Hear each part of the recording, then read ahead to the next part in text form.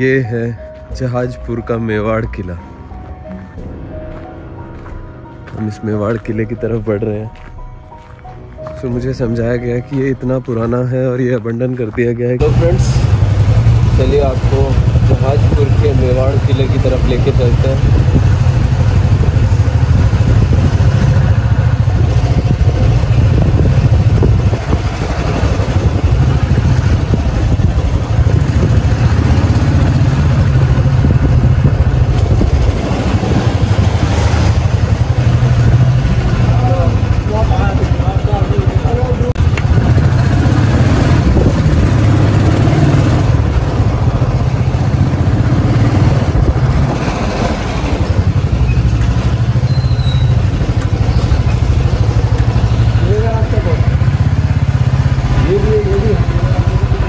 दरगाह वाला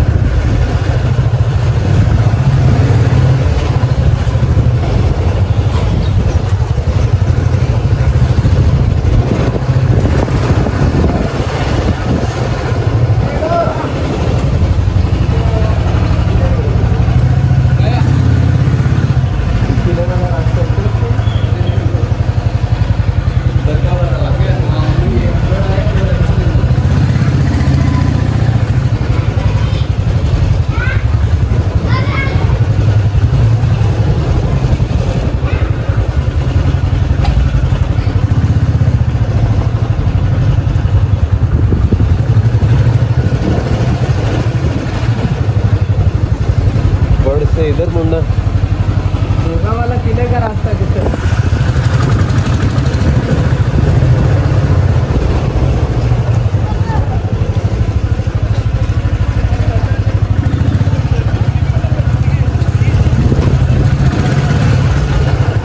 आगे रास्ता मिट्टी वाला है थोड़ा सा रिस्की है मुझे बताया गया है।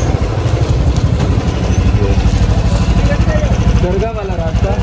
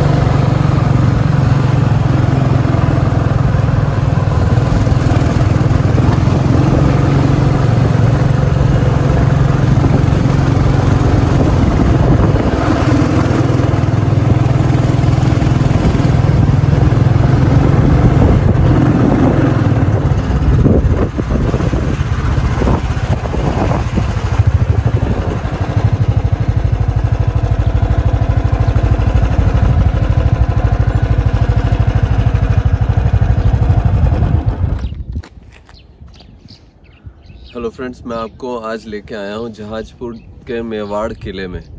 इस किले की खासियत यह है कि इसको आज से ढाई हज़ार साल पहले संप्रति नाम के राजा, जो कि अशोक के पुत्र थे, उन्होंने बनवाया था, नींव रखी थी इसकी।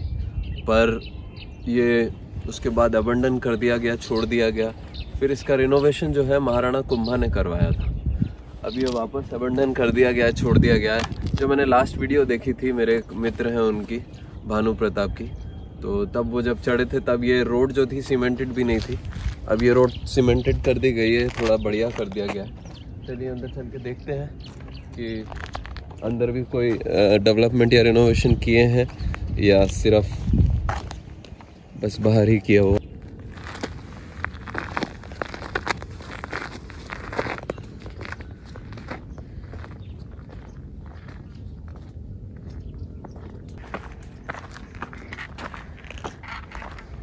तो ये रास्ता है दरगाह वाला।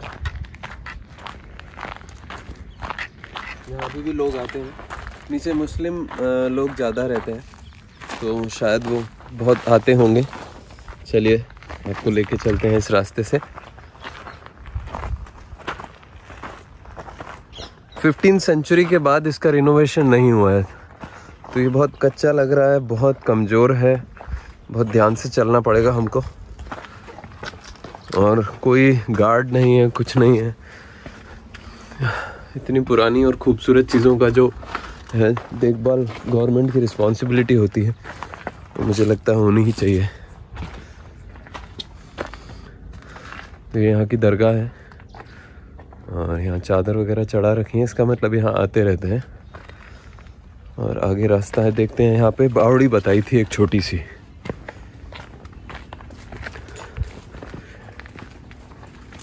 यस ये बावड़ी है। अभी इसमें पानी सूख गया है।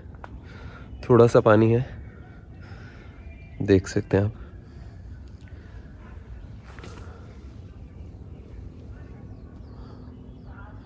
वहाँ पे भी एक मजार है। आगे चलते हैं।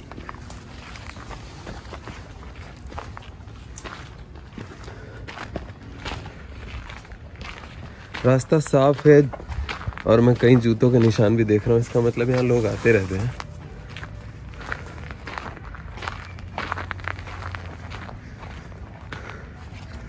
So फ्रेंड्स ये जो आप देख रहे हैं, ये है जहाजपुर का मेवाड़ किला। हम इस मेवाड़ किले की तरफ़ बढ़ रहे हैं। तो मुझे समझाया गया कि ये इतना पुराना है और ये अबंडन कर दिया गया है कि इसको बहुत ध्यान से इसमें जाना है। दीवारें कच्ची हैं।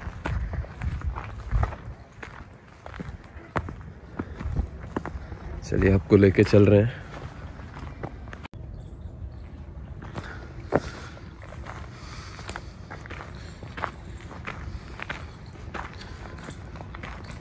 अब हमें अंदर जाके पता चलेगा कि इसकी एग्जैक्टली एंट्रेंस कहाँ से है।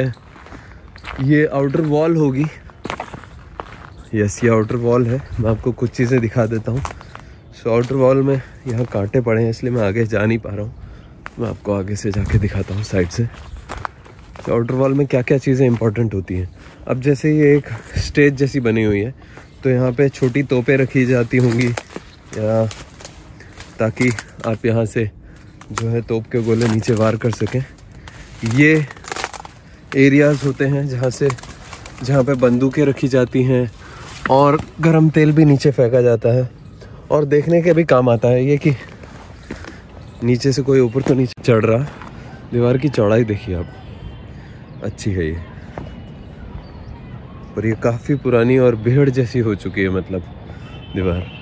और आगे पूरा ये पहाड़ी से घिरी हुई है पूरा गहराई है तो ऊपर चढ़ने में किसी को भी तकलीफ़ होगी।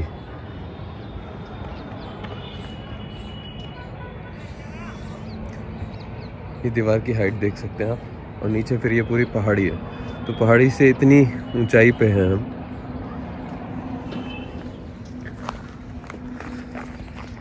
ये सामने किला है किले की एंट्रेंस यहाँ नहीं है। चलिए आपको एंट्रेंस से लेके चलते हैं और दिखाते हैं। ये देख सकते हैं आप। सो ये एक ऐसी जगह है जहाँ ऊपर आप तोप लगा सकते हैं। और हाइट होगी तो हाइट से आप दूर तक देख सकते हैं कि कौन कौन आ रहा है, कहाँ से अटैक हो रहा है।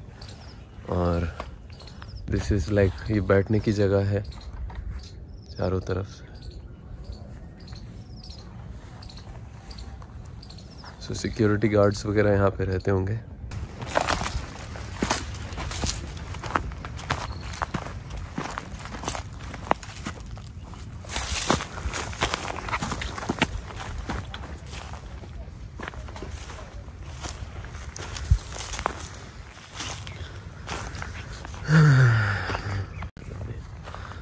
So this is the entrance ये एंट्रेंस है, यहाँ से है इसकी एंट्रेंस ठीक है?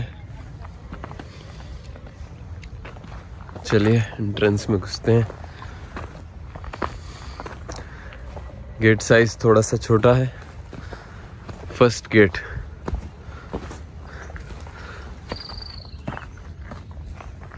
सो जो फ़र्स्ट गेट होता है, उसके दोनों साइड्स में सिक्योरिटी गार्ड्स के लिए रूम्स होते हैं.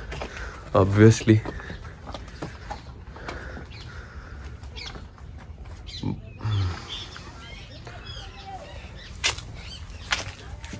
So security guard rooms होंगे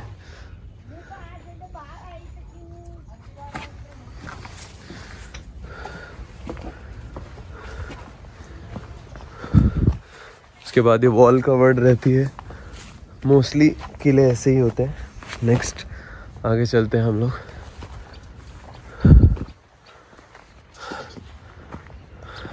सेकंड वॉल ये मंदिर हो सकता है। हाँ ये मंदिर है सामने। शिवलिंग है।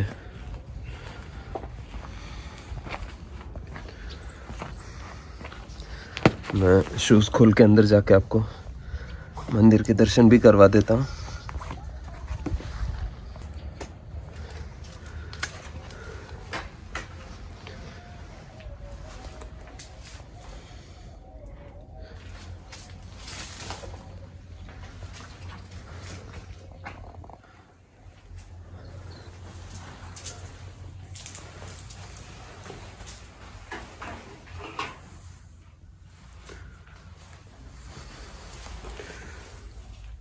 ये परिक्रमा है तो यहाँ मिट्टी विट्टी ज़्यादा है।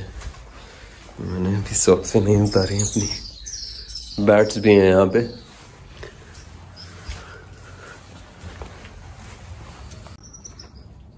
ये सेकेंड एंट्रेंस है, जो बिगर एंट्रेंस होगी वहाँ से। पूरी तरह से जैसे तहस नहस हो रखा है ये किला। और मतलब बिल्कुल ध्यान नहीं है। गवर्नमेंट अपनी चीज़ों को शायद सोच नहीं पाती है कि वो हर जगह से ये इनकम सोर्स भी बन सकते हैं। एक और मंदिर है। हर जगह मंदिर है यहाँ पे।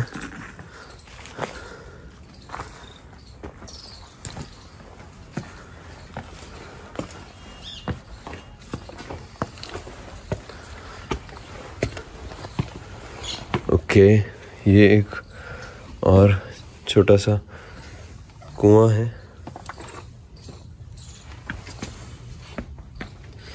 बावड़ी कहते हैं इसको राजस्थानी में। सो पानी स्टोर किया जाता होगा। नीचे सीढ़ी से उतरने की जगह भी है।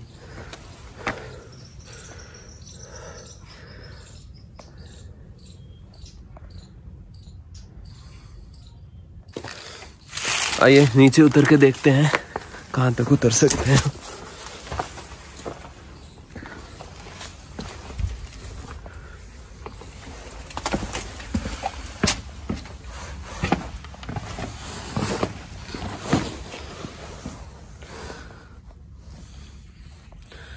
पानी क्लीन है।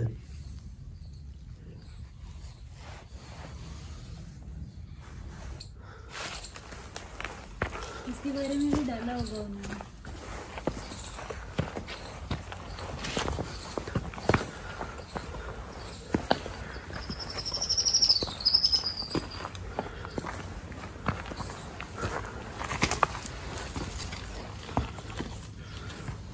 देन ये रूम्स वगैरह होंगे।